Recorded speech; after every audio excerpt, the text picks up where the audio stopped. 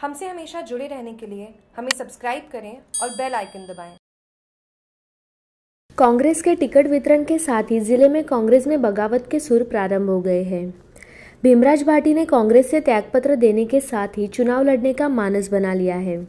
तो वहीं टिकट कटने के बाद पूर्व सभापति प्रदीप हिंगड़, पाली शहर कांग्रेस अध्यक्ष महबूब टी सहित ज़िले के कई पदाधिकारियों ने कांग्रेस से त्यागपत्र देना प्रारंभ कर दिया है।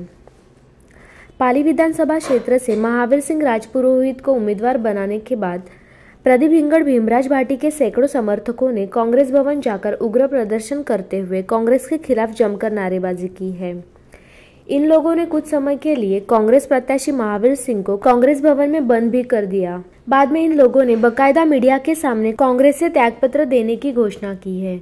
तो वहीं पूर्व विधायक भीमराज भाटी ने अपने निवास स्थान पर एक बड़ी बैठक कर कांग्रेस पर टिकट वितरण को लेकर कई गंभीर आरोप लगाते हुए जनता के आदेश पर एक बार फिर से चुनाव मैदान में उतरने का मानस बना लिया है।